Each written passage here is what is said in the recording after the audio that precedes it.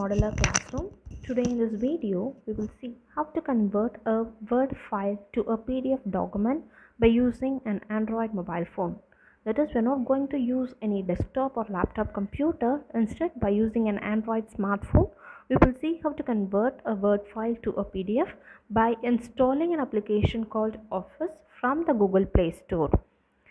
I have already installed this Office application. So now I'm choosing this My Files and I'm choosing that particular document particular document from my phone where I have stored. I'm choosing this computer.docx file. This is one of the files that has been saved in the document format that is .docx. It consists of two pages and it consists of text paragraphs, letters, words and images also. So there are two options I can able to follow to convert a PDF. Either I need that particular file to be stored internally in my mobile. I have to choose this share as PDF. This is third option. By clicking on the three dots, I have to choose the third option. And once it opens, it will uh, show me the variety of ways where I can able to share that particular PDF file.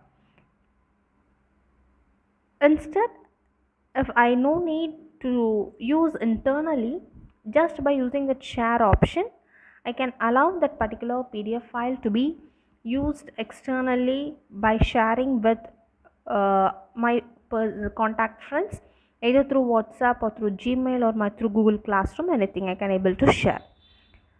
But if I no need I just uh, want only to be shared internally means I have to choose another option so as I said already you see through WhatsApp through Gmail through Classroom through Telegram through Signal anything I can able to share externally this PDF file.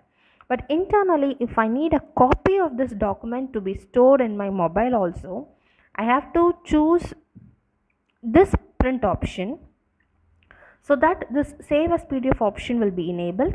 And by clicking on this round yellow button, i am can able to convert this particular pdf document that can be stored on my mobile. So i am choosing this documents and i'm giving this location save so that this particular word document will be stored in my mobile internally also.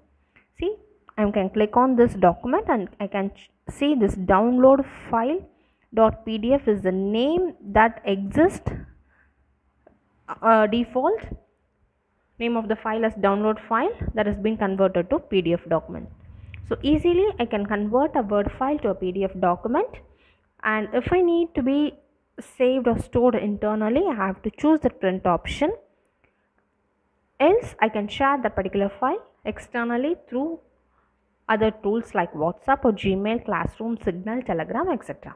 So these are the two easiest ways to convert a Word file to a PDF document without using any third-party applications or uh, only one of the application called Office and, and without using any online tools or other applications.